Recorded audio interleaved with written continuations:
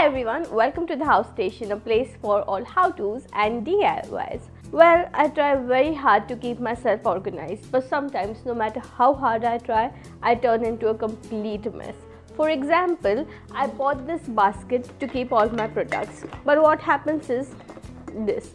I try to take one product out and everything just falls down. And the smaller ones, they just don't stand properly, making my basket a complete mess and completely unorganized. So what I did is I made a simple cardboard compartment for my basket. This cardboard compartment holds my products all well. No matter how hard I shake it, they're all secured in the compartment and I can easily take off any product and put it back in without the others falling and making my basket really nice and organized and mess free. So if you want to see how I made this very simple cardboard compartment, then please keep watching the First video. I'm going to create a base for the compartment. My basket is 25 centimeters into 20 centimeters, so I'm going to make the base 20 centimeters into 14 centimeters.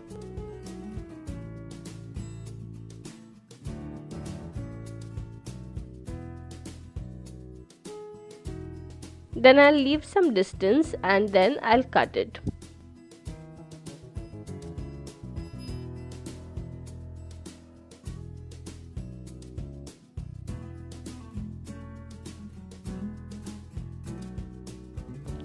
Now that I have the base ready and I have this extra piece over here, I'll use this for the front. So the width will be 20 centimeters to match the base and I'm going to keep the height 6 centimeters.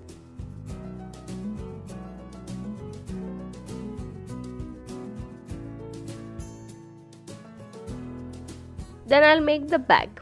The width will again be 20 centimeters and the height let's go for 10 centimeters. Now I'll make the sides. Now for this I'll keep the width 14 centimeters and for the height I'll place the back and mark a line and then I'll place the front piece and mark another line and then I'll join them both to create a slanting line. Then I'll cut this and I'll cut one more piece similar to this one so that I have two sides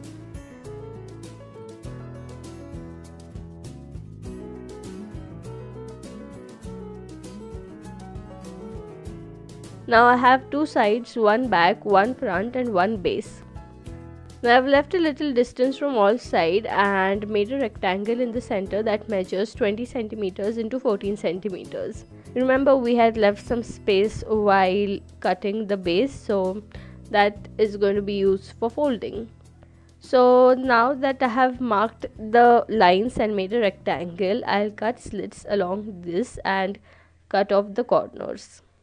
Then I'll turn the cardboard and mark the rectangle in front as well and then I'll start making the compartments. Now I know the approximate size of my products but if you aren't aware it's better to measure them first so that they fit well. So according to the size, size of my products I'll mark 8 compartments.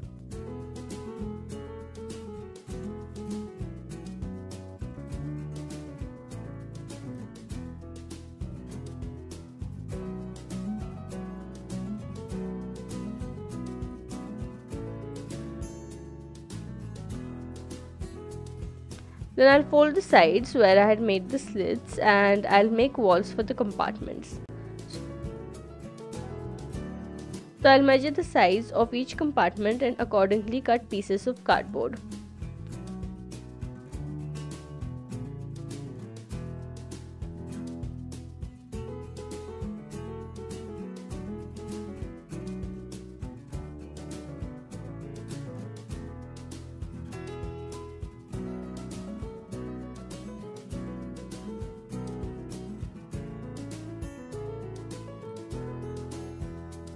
Once I have all the walls done, I'll start to stick them on the base one by one.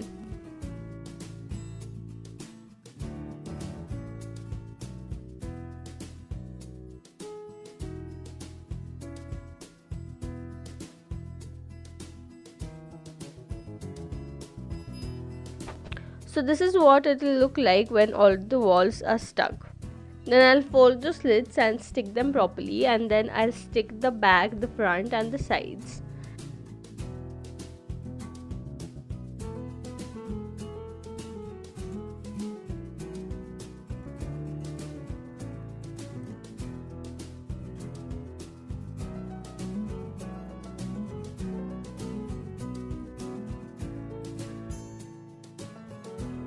And when everything is stuck this is how it will look and I have applied some cello tape to secure it and then I'll put the compartment in the basket and arrange all my products in it.